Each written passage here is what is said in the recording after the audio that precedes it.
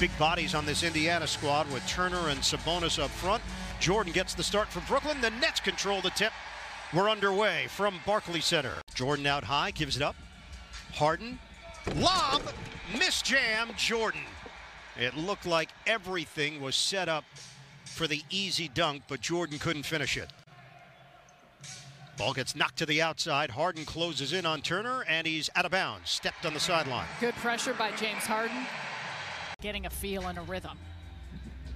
Irving, turnover, Brooklyn. They turned it over 15 times last night against Detroit. Meanwhile, Bruce Brown misses on a pair. Empty possession for Brooklyn. Bro- Hit come through points in the paint on the attack. They got a couple free throws, but nice job being aggressive. Attack mode. Harden is fouled on the stumble to Harden. 8 0 run for the Nets. 12 6 lead.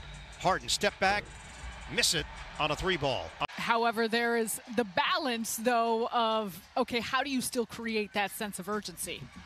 Irving is fouled. Irving, shake on Brogdon, screen, lob, Jordan. Catches in traffic, now one on one with Turner.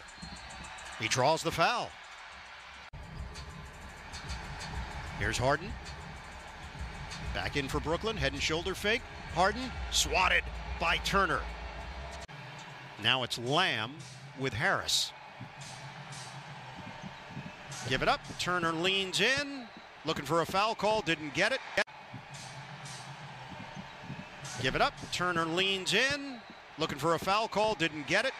And it's knocked out of bounds and a technical assessed to Myles Turner. Uh, he was looking for the switch so he could get back to Sabonis. And they've uh, been able to string three possessions together. And Deuce. Catch and fire, Turner. Long rebound to Holiday. Attention to the defensive glass. Backdoor. Irving, wild attempt. Oh, it nearly goes down. It would have been a major highlight. He's fouled. Using the screen. Return feed. Irving in a crowd is fouled.